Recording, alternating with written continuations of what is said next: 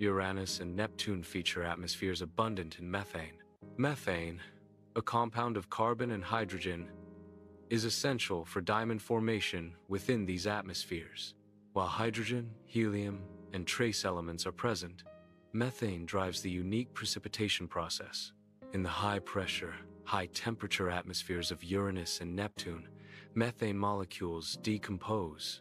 The breakdown of methane releases carbon atoms, which then compress and crystallize into diamonds. These diamonds grow in size and sink through the atmosphere, creating a diamond rain effect. Diamond rain is confirmed to occur on Uranus and Neptune due to their unique atmospheric conditions.